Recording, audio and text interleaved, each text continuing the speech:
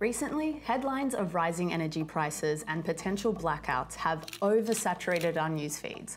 But this crisis was a long time coming. You get it? Yeah, I got it.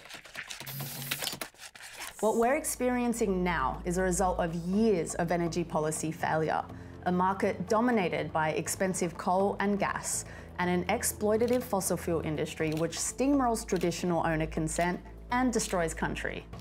Successive coalition governments, from Abbott to Morrison, handcuffed our energy grid to polluting fuels in a decade of energy policy shambles. This is coal. Don't be afraid. The Don't be scared. Won't the treasurer you. knows the rule on crops. It's coal. They ignored the science, which showed they needed to quickly transition from fossil fuels to clean, affordable, renewable energy and locked households into expensive coal and gas. But why? Money!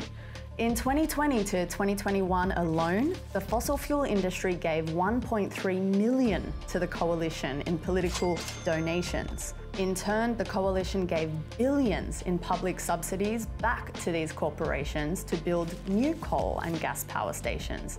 It's the circle of fossil fuel and political life. The Russian war in Ukraine has also pushed fossil fuel prices extraordinarily high. Many countries have recently sanctioned and banned imports from Russia, a major exporter of gas and oil. Because our federal government failed to build new energy infrastructure, our energy grid relied on these expensive fossil fuels. Greedy coal and gas corporations choose to manufacture profit off crisis, whilst violating consent, water, and climate. With prices on the global market so high, gas corporations have exported abroad nearly 80% of gas. These gas corporations have made us the biggest exporter of fossil fuels in the world. And therefore, the gas that we use for our electricity in Australia is directly linked to the sky high prices internationally. And it all reached a peak of ridiculous prices recently when the managing body, Australian Energy Market Operator, had to step in and put a cap on prices. Fossil fuel corporations knew this would cost them money, so they intentionally withdrew the power so that when AEMO ordered their generators back, they could profit off of the need for us to power our lives. They put profit over people, leaving communities out in the dark. In the face of this, AEMO had to step in and suspend the market, deeming it impossible to operate. In doing so, they can now ensure generators are running and that we have a secure supply of energy, so that the chances of blackouts and higher prices are much lower.